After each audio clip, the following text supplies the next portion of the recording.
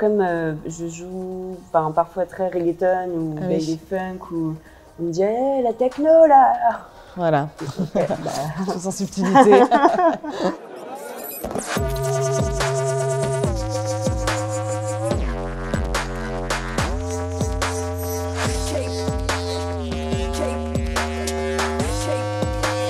C'était un concert de carte blanche du Jimedi et Riton à la plateforme à Lyon dans le cadre de Nuit Sonore. euh. Bonne première euh, fois, euh, Mehdi et- et- Ouais, carte blanche, c'était assez mythique. Euh, mais moi, la première fois, c'était à Montpellier, à la Villa Rouge, qui était un club euh, assez euh, culte euh, il y a quelques années ça. Je pense que c'était en 2006. Et c'était un club assez mythique, autant pour la scène électronique que pour la scène LGBT et queer. Je pense c'était une soirée de résidence, mais c'était assez déjanté, la Villa Rouge. Et donc, j'ai pris quand même un gros coup dans la tête. Enfin, j'étais émerveillée par tout ce qui se passait dans ce club-là. Et j'y suis retournée presque tous les week-ends pendant beaucoup d'années après.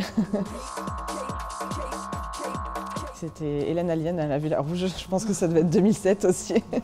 C'est la techno euh, minimale en plus, un peu indus, euh, de- des, années 2007-2008 et elle avait fait un set euh, incroyable et c'était un des premiers vrais sets DJ que je voyais donc je m'en souviens encore.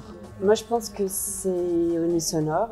hein, Les rendez-vous étaient là chaque année. je vais peut-être en, en parler encore.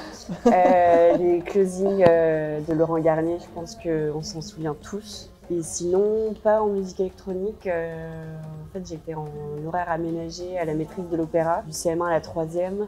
Et du coup, j'ai eu un parcours classique. Donc, je pense que le fait de voir les opéras et tout ça, c'est euh, quand même assez euh, impressionnant quoi. et- oui.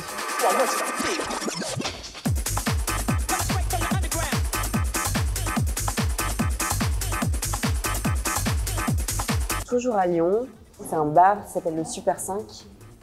Et c'était euh, avec euh, le Limbo Lolo Sound System, euh, avec qui j'ai démarré, donc ces deux copains. On jouait principalement du reggaeton, dancehall, euh, afrobeat, euh, daily funk. On avait une barre de limbo qu'on avait fabriquée de nos propres mains. Ah, trop bon.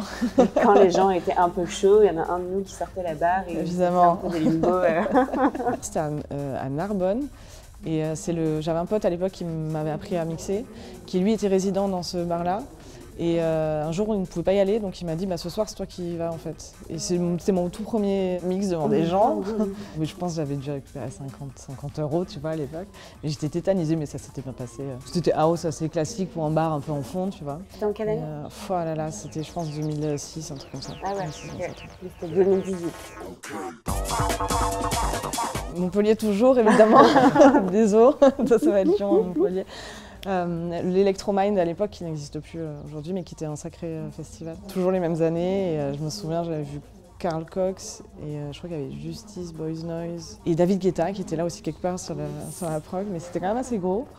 Et pareil, j'ai eu une grosse claque de, premier, tout premier festival. Avec le recul, tout me semblait immense. Alors je le verrais maintenant, peut-être moins, ça serait pas le cas, mais, j'étais émerveillée, ouais. Alors, j'étais en colonie au Francofolie. Et euh, ouais, donc j'avais, je sais pas, 13-14 ans, je crois. Ah oui, Donc c'est cool comme colo quand même.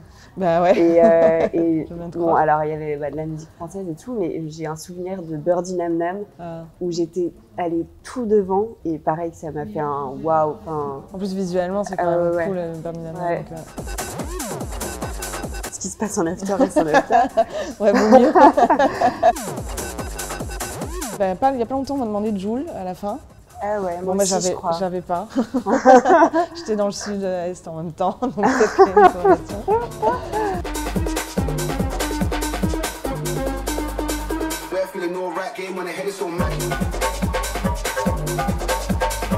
Astropolis 2022. J'avais participé au Dôme et j'ai joué à Beau Rivage.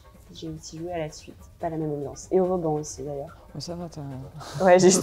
t'as tes entrées dans toute la ville. Moi, j'ai joué au Vauban, euh, on le disait tout à l'heure, a, c'était en octobre ou novembre 2022. C'était une soirée où j'avais été invitée euh, par euh, la team Astropolis et j'avais fait un remix pour Blutch. Bonne ambiance euh, jusqu'à la fin. Ouais. Et ça finit par. C'est Adamo. Pour virer les gens, ils mettent Adamo. Ah, j'en ai pas ce souvenir-là.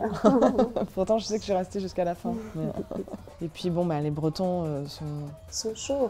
sont chauds. Si je suis venue qu'une fois, euh, en- à Brest en tout cas, mais, euh, en général, on se rend compte que dans le Nord, les- les- la musique est reçue un peu différemment. Il y a des ambiances euh, qui pleuvent, qui ventent, qui neigent, ils sont là.